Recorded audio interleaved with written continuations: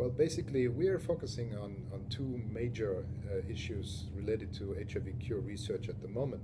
The one is to really find out which are the so called reservoirs where the virus hides despite effective therapy. And we know that these uh, are dormant cells which are infected by the virus. Uh, yet we do not know all of the cells where the virus can hide. We do know some of them, but not all of them and we do not know exactly how and where they are distributed throughout the body. That means that they're at different anatomical sites.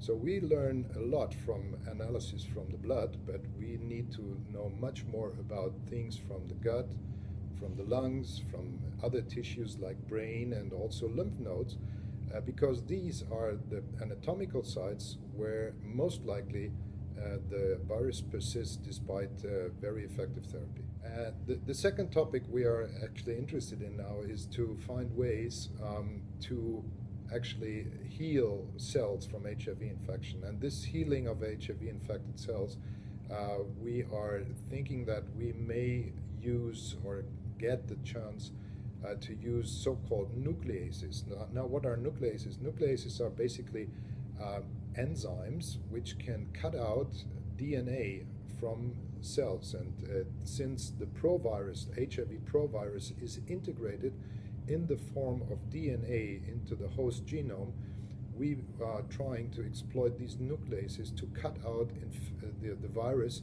out of infected cells. Actually, this works in cell culture. We even know that it works in mice now who are infected with HIV and who have been transplanted with a human immune system.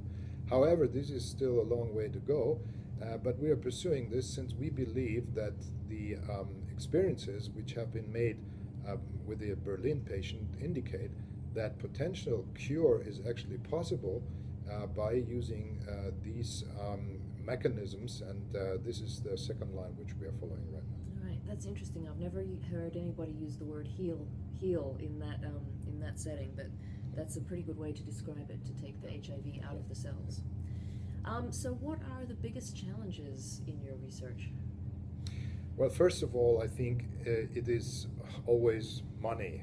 it is money in that sense that we do have a lot of funding which is related to basic research, but as soon as we are going into the clinic, it becomes extensively, um, extensively. Uh, the, the, the, amount of money needed is, is, is it's extended by magnitudes because we have to do proper clinical trials, and clinical trials involving patients are expensive.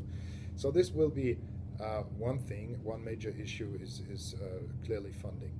Um, there is a lot of funding in the basic research arena, uh, but when it comes up to the translation, uh, the translational part into the clinics, uh, then we have either to find uh, pharmaceutical companies who will um, supplement it or other um, you know, funding sources like amfAR, for instance, and um, this is something uh, which is clearly um, a, a, major issue. Uh, well, more scientifically, I think, as I said, uh, we do have um, learned a, a, lot of things from the peripheral blood of patients with HIV.